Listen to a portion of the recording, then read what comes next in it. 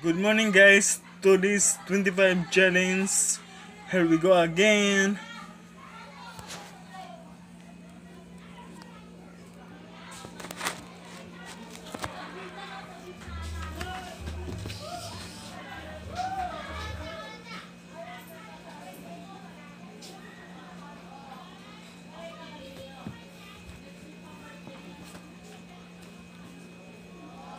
One.